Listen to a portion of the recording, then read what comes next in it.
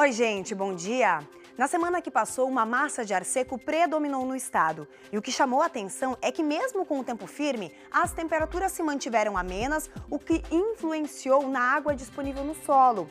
É que, com as temperaturas baixas, a água não evapora rapidamente e, por isso, os índices estão acima dos 90% em todas as regiões. Aliás, a maior parte das áreas produtoras apresenta índice de encharcamento do solo, o que dificulta as atividades de campo. Mas o tempo firme não vai continuar. Já hoje, a formação de instabilidades organiza nuvens carregadas e a chuva volta a se espalhar. A expectativa é de muita chuva. Os volumes vão de 75 milímetros no litoral norte, serra e região metropolitana a 120 milímetros na região central. Essa situação, além de manter a umidade do solo elevada, pode paralisar ainda mais as atividades de campo, porque tem risco de temporais com raios, ventos e até queda de granizo. Uma boa semana para você!